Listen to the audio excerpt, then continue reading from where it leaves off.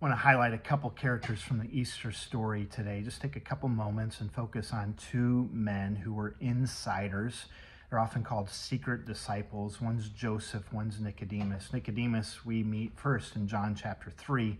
Joseph, we're introduced to in the crucifixion story, Mark chapter 15, John chapter 19. Two secret disciples. They were insiders, right? They, they were men they were Bible believing, they were Jews, they were wealthy, they were prominent. And so by default, they are they're insiders. And Nicodemus, Nicodemus had the conversation with Jesus, one of the longer conversations in Scripture, one on one with Jesus, and then he walks away. He doesn't become a follower, doesn't become a disciple at that time, but he continues to observe. He sees the miracles Jesus is performing. And at the crucifixion, after the crucifixion, Mark chapter 15, it was preparation day, and so as evening approached, Joseph of Arimathea, verse 43, a prominent member of the council, who was himself waiting for the kingdom of God, went boldly to Pilate and asked for Jesus' body.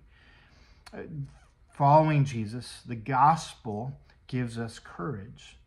There, there are times as you follow Jesus that you will need to exhibit courage, that you will need to be bold. And at the same time, Pilate was surprised to hear that he was already dead. Summoning the centurion, he asked him if Jesus had already died. When he learned from the centurion that it was so, he gave the body to Joseph. So Joseph bought some linen cloth. He took down the body. He wrapped it in the linen and placed it in a tomb cut out of rock. Then he rolled a stone against the entrance of the tomb. Mary Magdalene and Mary, the mother of Jesus, Joseph, saw where he was laid. In John chapter 19, it says, uh, he was accompanied by Nicodemus, the man who had earlier had visited Jesus at night. Nicodemus brought a mixture of myrrh and aloes, about 75 pounds. Think of 75 pounds of myrrh and aloe.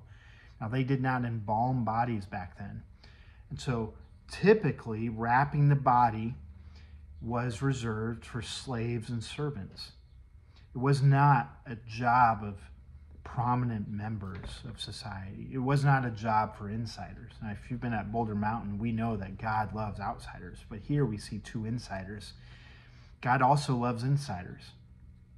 And what do they exhibit in this important pivotal moment after the death of Jesus? These two men, secret disciples, they exhibit tremendous courage, they go boldly, and at the same time, they exhibit tenderness masculinity can all there's a place for tenderness within masculinity. Masculine and tender. Just like there within femininity there's a place for courage. The gospel gives us both. When was the last time you had to be courageous and tender at the same time? I remember as a youth pastor i took a number of students on a mission trip we were serving in montego bay jamaica and on our free day we had one free day we were there 10 days. We went to the ocean and we went swimming. One of our students, a teenage girl, was being bitten by jellyfish. There were a tremendous number of jellyfish out and she was being bitten. She was screaming and yelling. And I'm thinking, I, I don't want to go out there. And so, uh, but I'm the youth pastor. So went out, got her, picked her up, carried her to, to the sand. I had to have courage to get her I, didn't want to get bit. So there was a, there was courage, and at the very same moment, I had to be tender, and we had to care for her and give her what she needed. Joseph and Nicodemus are being courageous and tender at the same time. They don't stand back with arms folded and hire others to do this. This is really, really important. The gospel changes culture. Those who are recipients of, of grace become an instrument of justice in the world. They now serve and they now care for Jesus. Tremendous amount of courage and tremendous amount of tenderness at the same time. So they didn't embalm bodies. So think about this experience. They're handling a cadaver, not any cadaver, but a body that's been stripped. The skin's been stripped off. There's holes in the back, there's holes in the side, there's holes in the hands, there's holes in the feet. There's, there's, this is a bloody job and they pour 75 pounds of aloes and spices. And they're anointing this body and they're wrapping this body so tenderly. This is the man that he had a one out, Nicodemus had a one on one conversation with. Uh, the gospel changes everything because Jesus changes every, everything. Uh, the, the high who are insiders, it, it, it brings humility to them. And outsiders who are already humble, it, it allows them to raise their head in tremendous courage and strength. And so Jesus is for the insider and Jesus is for the outsider. And all of us fall one of those two places or somewhere in between.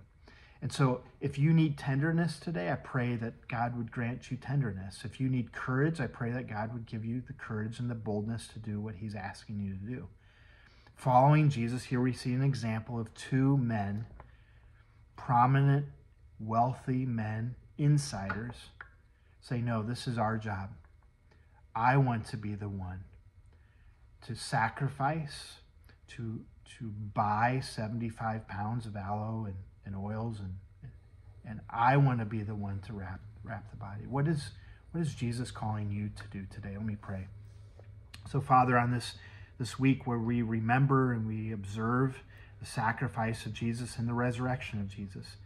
We're all at different places in the story as we follow Jesus, but he is present with us.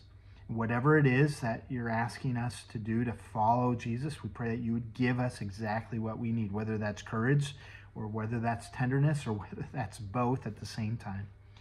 I pray that you would move, you would grant new life this weekend at Boulder Mountain as we come together on Friday and we come back together on Sunday. And that uh, Jesus, you would you would bring people to yourself. It's what you desire and what's what you long for. So we pray to that end.